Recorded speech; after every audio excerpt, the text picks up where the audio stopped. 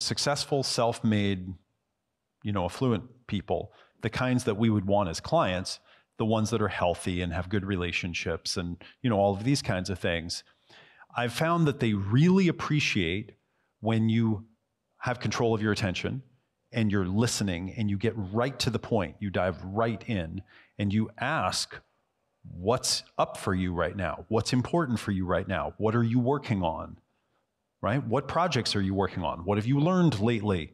What are you trying to do? What are the challenges you're facing? You get right into the things that are important and then you guide and support and kind of, right? You help tune in to where the pain point is or where the, fr- you know, Annie, I mean, I've literally seen her talk, start, start talking to somebody new, and within a few minutes, the person's crying.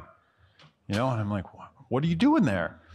She's a machine when it comes to helping people with their relationships. That's what she does. She goes to social events and she just meets people and is like, how's your love life?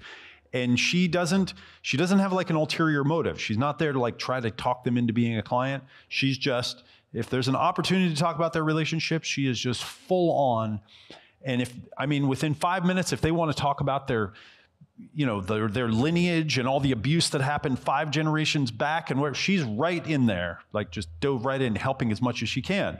And I found that successful people, they like to do that. They like to get right to the point.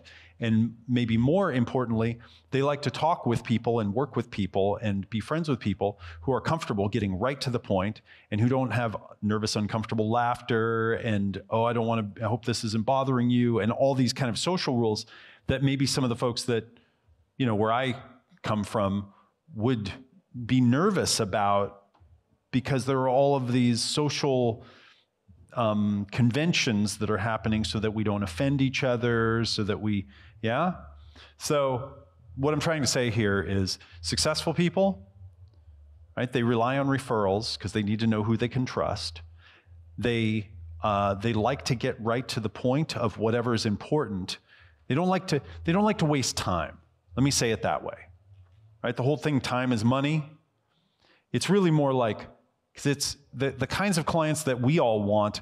It's not that time is money to them. They're not the time is money, but they're like time is really valuable because the by the way, the number one thing that affluent people like to do with their time is spend time with friends and with family right? The self-made affluent people, that's the number one thing that they like to spend their time doing is time with friends and family. These are good people, right? And so uh, a, a lot of people don't have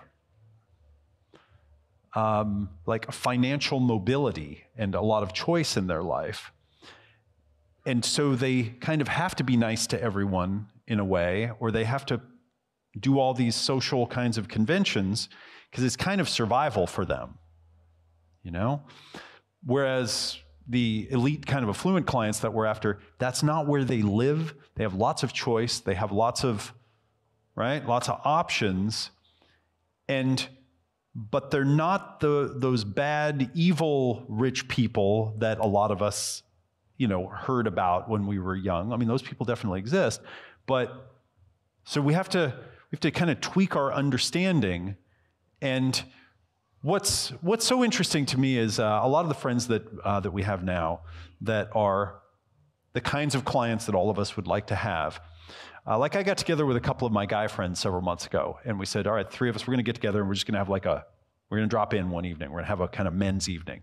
And we got together for, I don't know, maybe two hours or something like that. And it was one of the most valuable meetings I've ever had with other human beings. We just sat down and we are like, all right, we're, we're, you know, all three of us are good friends, um, but like, we're good friends individually, but the three of us hadn't hung out together. And so we said, we're going to, and like, as soon as we got together, we looked at each other and realized this is a really valuable space. We need to do something important, you know? And it's like, okay, great.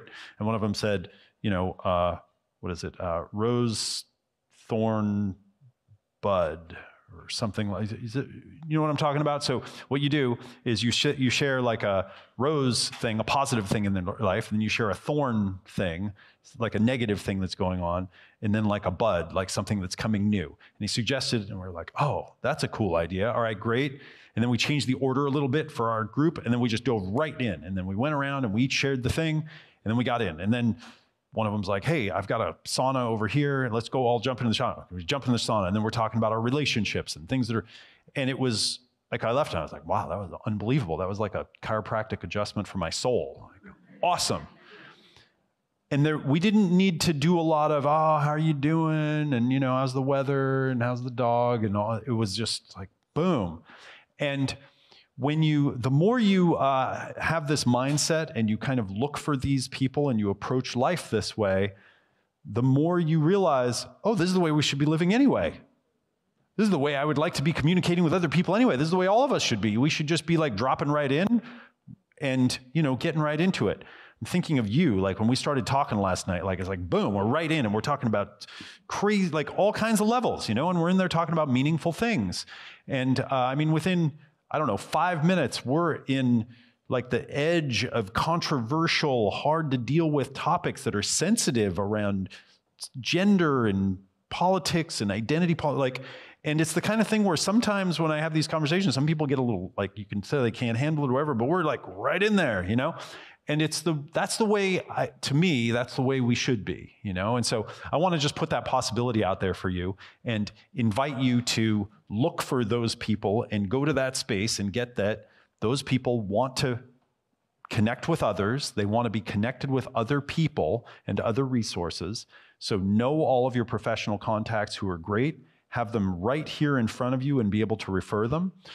Have also, by the way, you know, they value information. Like wealthy people value information more than other people.